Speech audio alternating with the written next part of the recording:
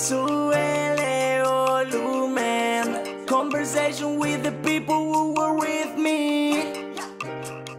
In the world TV. Carlos tonight. Carlos tonight. Historias de un reportero.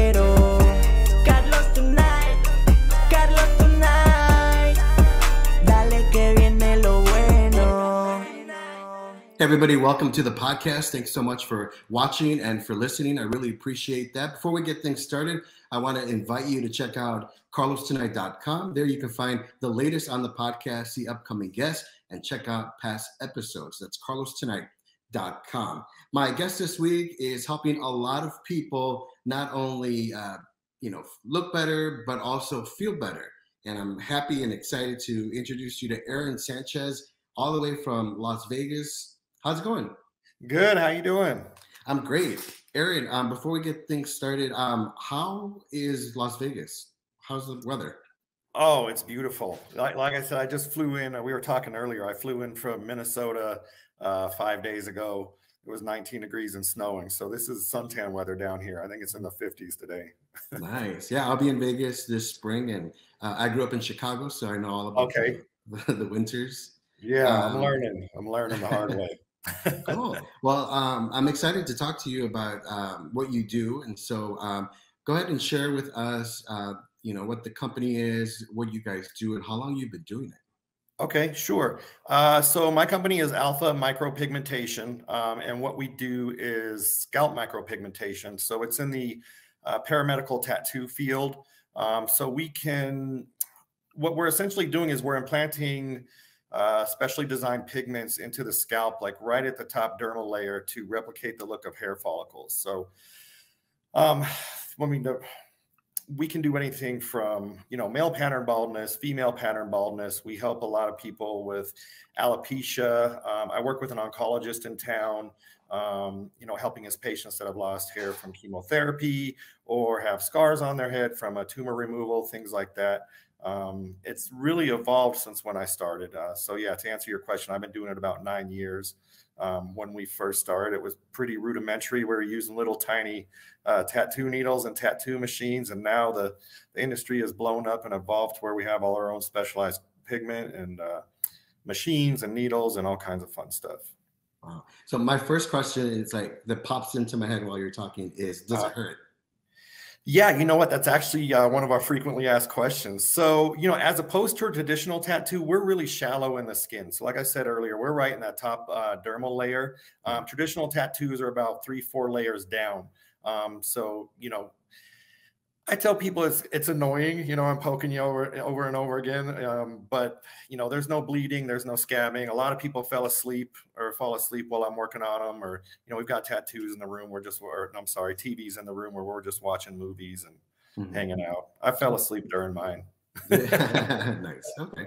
Um, and I know that you said a lot of people go um, like for after like chemotherapy and stuff like that, but Uh-huh. um, with who uh, with um, folks who are experiencing like maybe thinning or um, you know baldness runs in their family, at what age um, should they come see you, or what stage of their life should they come see you when they're in their twenties, when they see you know their hair falling, or You know, um, it's really got it runs the spectrum. You know, I've, I had a client that was 19 years old that was already 60% bald.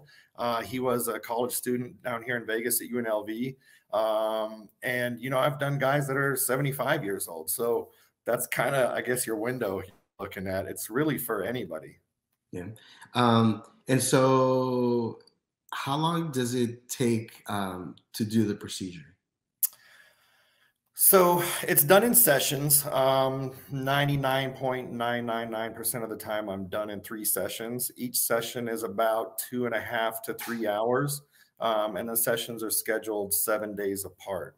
Mhm. Um, so we need, you know, a lot of people ask me, well, this is only six hours of work. I've sat for an eight hour tattoo before. Why can't we just do this in one day? Um, and the answer to that is because, again, we're so shallow in the dermal layer. If we get these impressions too close to one another while they're uh, still wet, you know, they'll, it's called migrating. They attract to each other and everything looks really muddy. So that's why we have to do it in sessions to let them heal, uh, give them that kind of time. And so, um, what made you do it in the first place? Uh, what made me get it? Uh-huh. Um, yeah, well, I was a guinea pig actually. Really? Okay. so yeah, um, my ex-partner and I, she was doing hair and makeup for a long, long time. Um, and she brought this home and said, Hey, I found this thing, uh, where you can tattoo hair on people's head. And I, I kind of laughed it off and thought it sounded pretty silly. Um, and then I saw her working and practicing, uh, you know, with the equipment and I said, wow, this is amazing. I can't believe how real this looks. Um, you know, so I've always been an artist and I love to draw and paint. So I picked it up right away and started messing with it and, uh, you know, made a decision. This is something we need to jump on. So, yeah, I was her guinea pig. I was the very first one she ever did. So, yeah, that was nine years ago. wow. And I was going to ask you, it, does it um, last forever or is it kind of like a tattoo where it kind of fades away? After yeah so that's a good question. Yeah so they're semi-permanent uh, by design. Um, and by semi-permanent you know you're going to get anywhere from 10 to 15 years out of a procedure.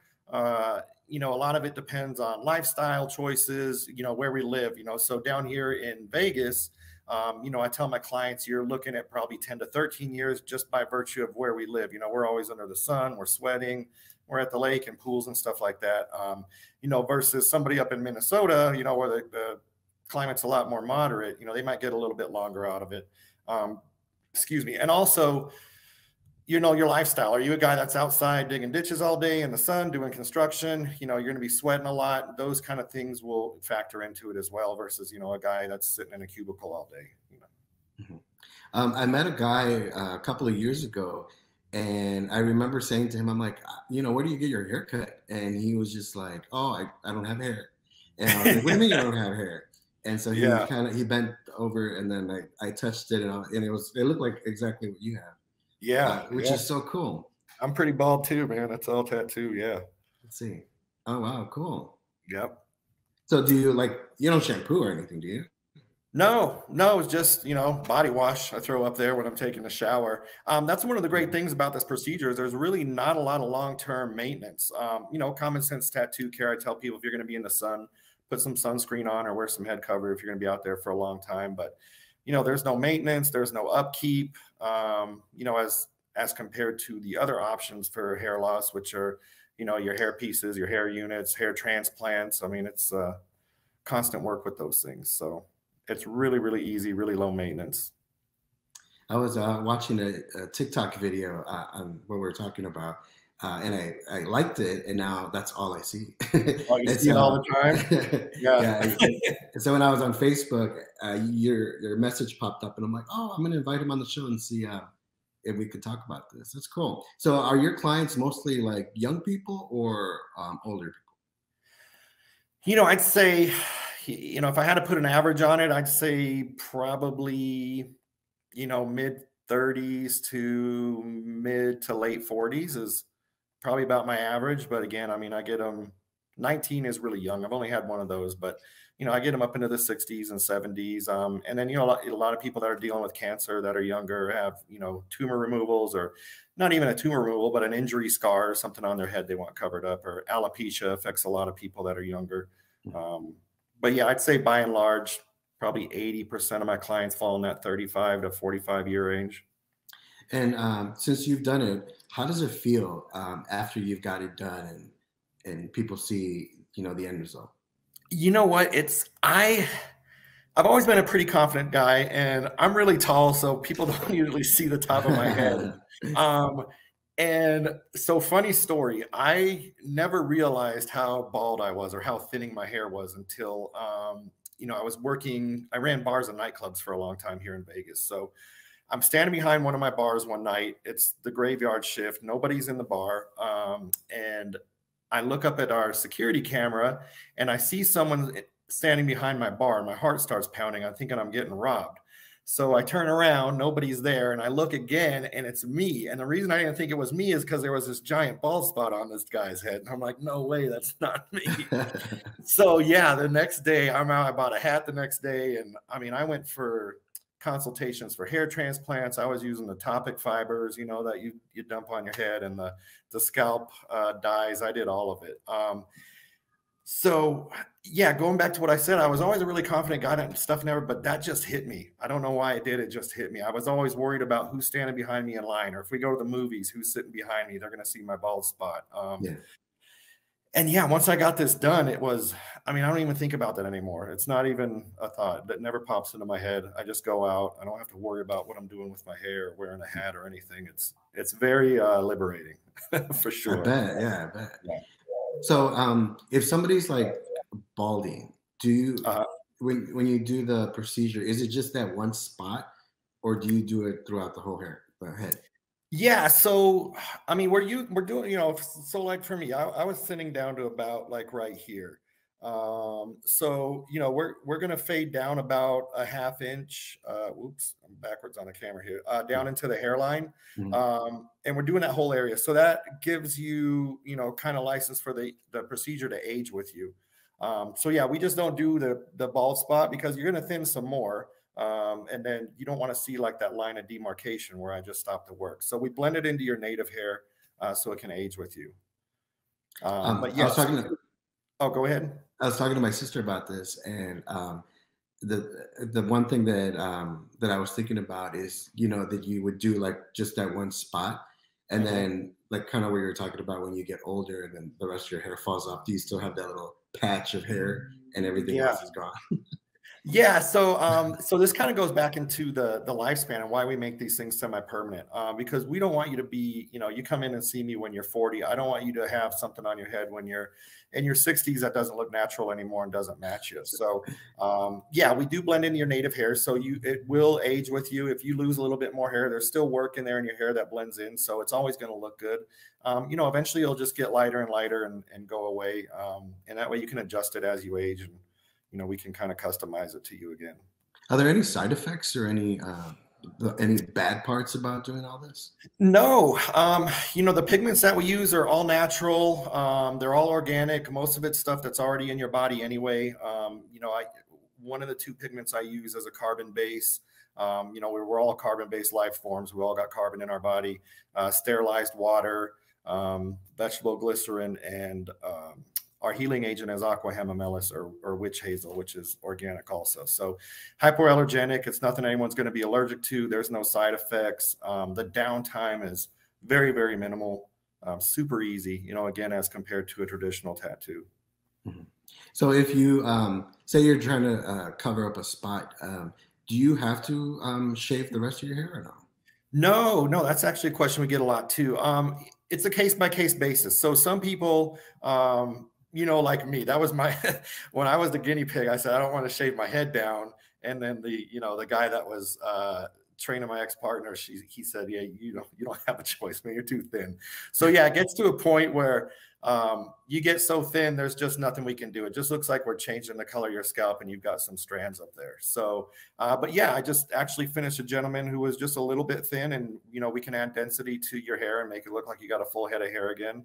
Um, it just kind of depends on where you are on that thinning scale.